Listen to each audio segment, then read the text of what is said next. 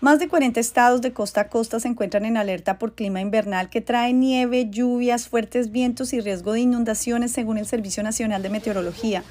En Florida ya se han registrado poderosos tornados y un 75% de los condados están bajo emergencia. Y en Georgia, una persona murió por la caída de un árbol. La nieve ha dejado carreteras, vehículos y granjas cubiertas de blanco en Iowa, Dakota del Sur, Oklahoma y Nebraska, donde los camiones paleadores trabajan contra reloj para despejar los caminos.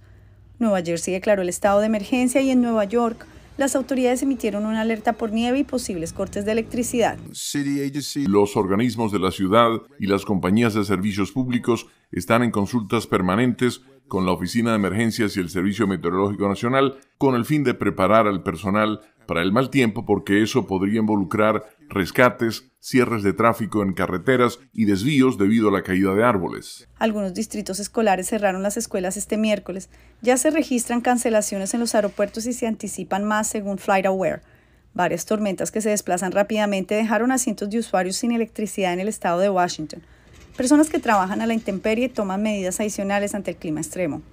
Ahorita sí, ahorita este, se hace complicado más que nada en, la calle porque pues se resbala uno a veces, pero pues todo es con precaución. Pues. Usando esto, igual se sufre un poquito, pero pues ya está más precavido más que nada.